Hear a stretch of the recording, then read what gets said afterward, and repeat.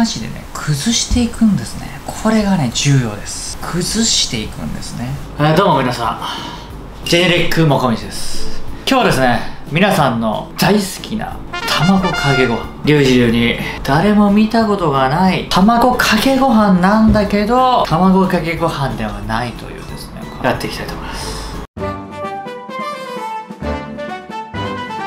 リュウジのバズレシピはい、ということでですね、今回はですね、卵かけご飯なんですけども、半熟ゆで卵かけご飯っていうですね、結構ね、限界が近づいてきて、限界ラバーズになってますんで、今回はですね、半熟卵をご飯にかけると、そういうですね、挑戦的なメニューやっていきたいと思います。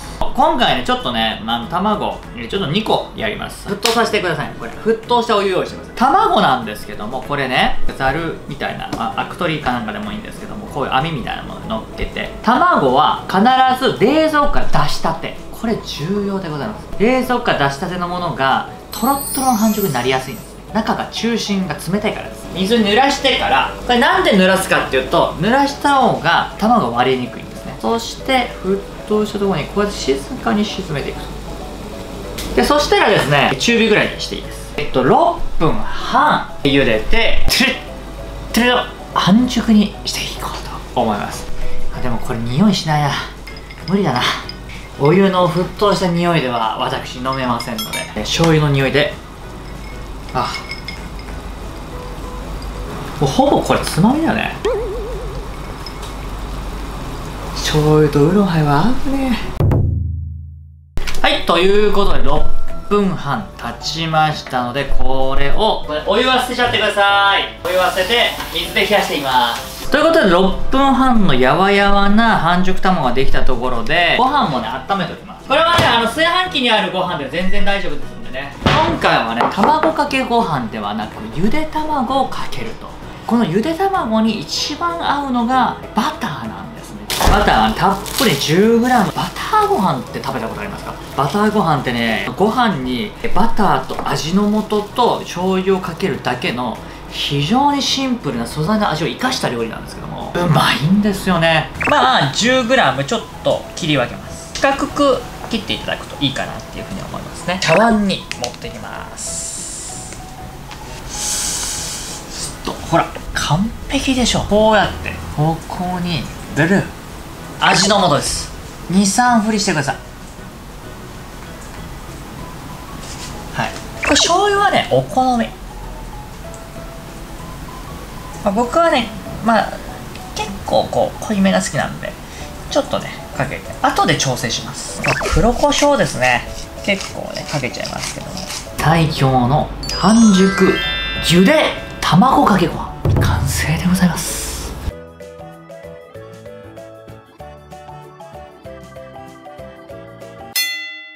それではですねこの卵かけご飯で食べ方あります。このままガサッといってもいいんですけどバターはあのご飯に落としてください。バターはご飯に吸わせた方がいいです。卵をこう箸でね崩していくんですね。これがね重要です。崩していくんですね。ブラックペッパー。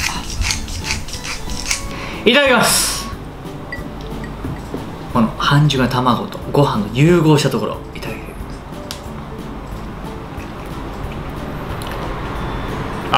No! Oh no! 悔しいんですよ。こんなに簡単なのにこんなにうまいもんがあるのかと。僕の味覚に従うとこういうのが一番うまいですよね。マジでうまい僕なんかも酒飲みなんで、まあ、もうちょい醤油かなと思うんですけども。醤油でもいいしめんつゆね3倍濃縮とかのめんつゆ濃縮されためんつゆとかでもいいうまいなこれ。バターご飯がうまいのにさ卵まで乗せたらさ美味しいに決まってるよね。こういうのを本当に楽しめる人の方が心が豊かです。あの皆さんねグルメっていう言葉あるじゃないですか。本当のグルメって僕どういう人かって考えたんですよ。本当のグルメっていう人はものすごく凝った料理も楽しめてこういったシンプルでもうズボラ飯みたいなものも等しく楽しめる人。ね。カップラーメンも懐石料理も等しく楽しめる人が本当のグルメだと思ってます。グルメになりましょう皆さん。ぜひ一緒にこの美味しさを共感しましょう。